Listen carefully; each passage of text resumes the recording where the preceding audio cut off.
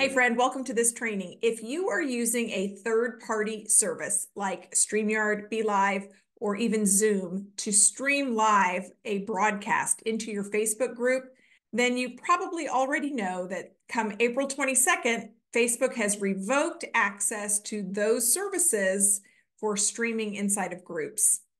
It's still available for personal profiles and for business pages, just not for groups. So what's going to happen? Can you still use those services? Absolutely. Should you still use those services? I think so. I think those tools provide value far beyond streaming into a group. I love that I can record on those tools and download and save them to repurpose them in other places very easily. I love that I can use those tools to stream into other places like pages or a professional profile. So I do think those tools still have value. So let's take a look at how going forward in April, you might use those same tools to continue streaming inside of your groups. Let's go. Let's get started by taking a look at StreamYard. Now, when we're inside of StreamYard, you probably are very familiar with the panel on the left that identifies your destinations. When I click on destinations, you'll see that it is already connected to a variety of places on Facebook and even Instagram. Starting in April, when you come into StreamYard to do a live broadcast, you won't be able to stream into a group directly by simply clicking on the group that you're connected to. Instead, we're going to have to create what's called a custom RTMP. Let me walk you through how you're going to create that. Once this is created, instead of selecting the group that you would normally select here, for example, instead of selecting Social Tech Academy Facebook group, I instead will select the group that's associated with the custom RTMP. So let me walk you through how we're going to create this. First, I will click on Add Destination. You have a menu of places you can stream to. We're going to select this one in the bottom right that says Custom RTMP. And you'll notice it's asking for some very specific information, a server URL, a stream key, and a nickname. I would give this nickname the name of your group so that you know which custom RTMP this is. So we'll call this Deb's test group. Now, where would I get these two key pieces of information? Well, let's jump over to Facebook and I'll show you where to find it. Here inside the Facebook group, if I click on write something as if I'm going to create a post, I'll click on my three dots and I'll click on live video.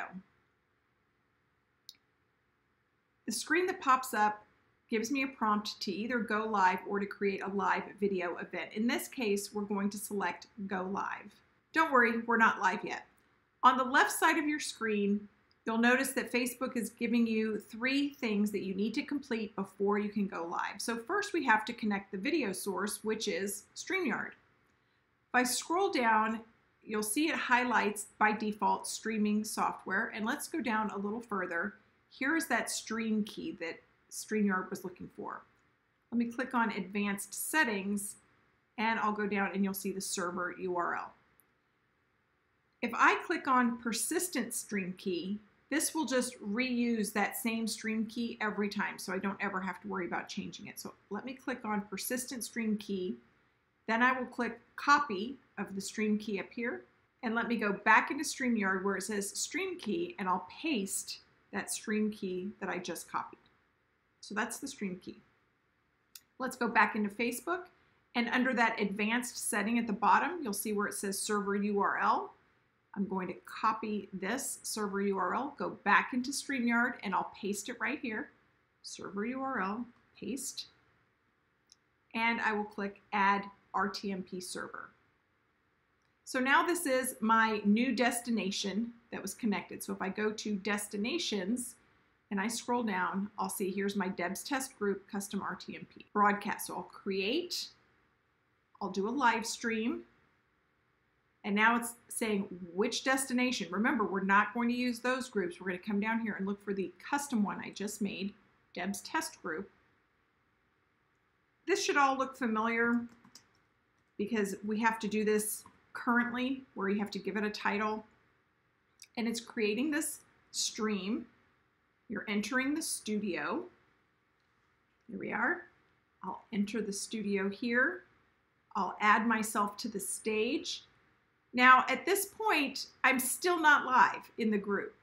Before I can be live on Facebook, I first have to be live inside of whatever this third party tool is. So whether it's StreamYard or BeLive or Zoom, you have to be live here and then it will push that data over to Facebook. So we're gonna go live here.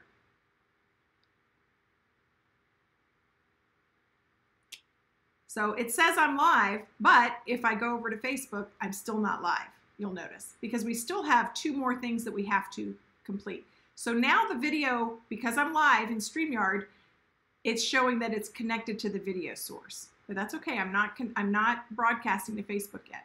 I still need to complete the post details, which will be over here on the right. I have to say what my broadcast is about. So this will just be a test and a test and I'll save that. And you'll notice it gives that green check mark. And so now I'm ready to go live. So when I click go live now inside of Facebook, I will now be broadcasting live through StreamYard. So I hope that part makes sense. So that's how you set up everything for StreamYard. And now let's walk through how to follow that same process or very similar process using the BeLive Studio. Now, if you use BeLive, in the top left of your screen, you can edit your destination. So remember in, in StreamYard we had destinations and we have those here in BeLive too. So I'll click on Edit Destination and simply click on the drop down arrow and scroll down to Custom RTMP. So we'll click on this and again it's looking for the server URL and the stream key. So I will copy both of those things from Facebook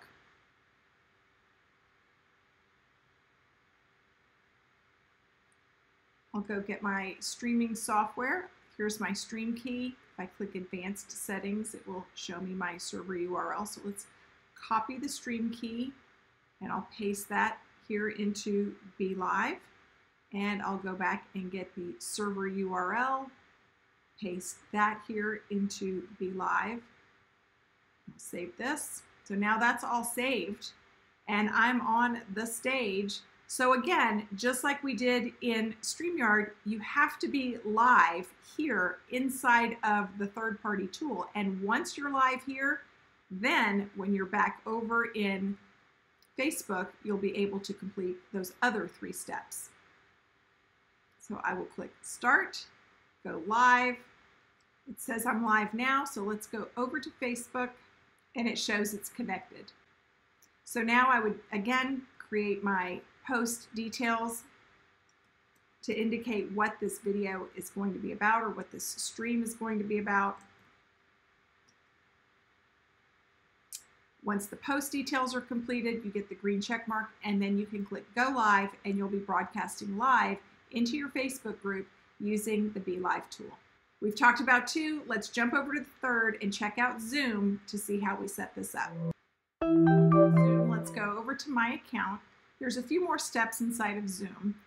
On the left side of your screen, scroll down to Account Management, Account Settings, then look for In Meeting Advanced. Once here, scroll down quite a bit until you find Allow Live Streaming of Meetings. The default would have Facebook, Workplace for Meta, YouTube, and Twitch. Those would automatically be on. You'll want to check this box here that says custom live streaming service. So make sure that box is checked. You'll want to have this set up and you only have to do it one time.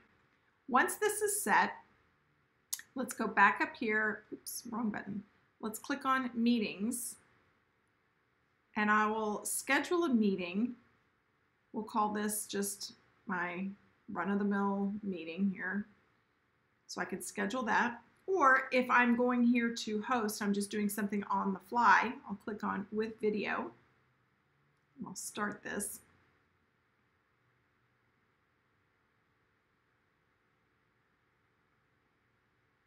Now what you'll see at the bottom of your screen, if I click on those three dots on the bottom right, now you'll see I can say live on Facebook, YouTube, Twitch. Those were already there. Here is now my live custom live streaming service. That's the one I'm going to select. And from here, I'll enter in that streaming URL and that streaming key, and you'll need to enter in the URL of your Facebook group. That would be something that's different here. So let me go over to Facebook. I'm going to grab, so here inside of my Facebook group, I click on write something. I click on the three dots, live video. From this screen, I'll click on go live.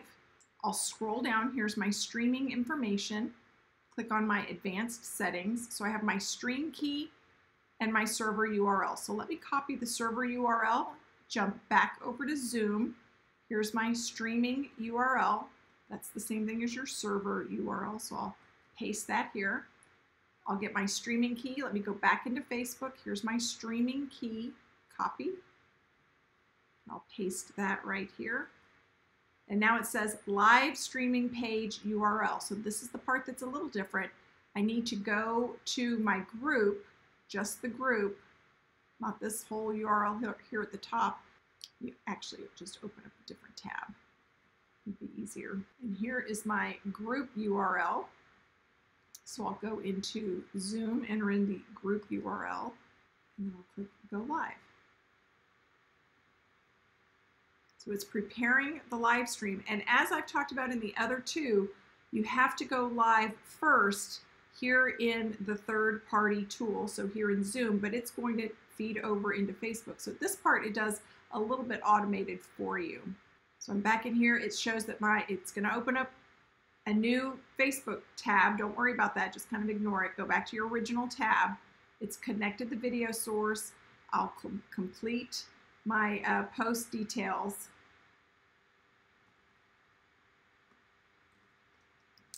save that.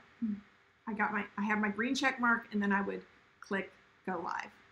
And you can see it is a little bit of a delay um, from when I'm talking to what's being seen.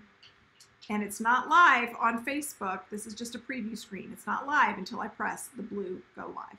Now the other place you can enter in the streaming information, if this is a meeting that you have scheduled that's coming up in the future, you can click on the meeting that's coming up and you'll see in the details tab at the top right next to it, it says live streaming. And because we've enabled that check mark, we can now configure the custom streaming service. So we can go here and input that same information and have it already ready for you. So look for the PDF document that I have that accompanies this video. If you're a person that would like to have that kind of visual step-by-step, -step, that's going to be available to you for all three of these options. Hopefully that's helpful to you. And if you have any questions, don't hesitate to reach out to me inside of the Academy. I'll be happy to test with you and help you out. Take care and good luck.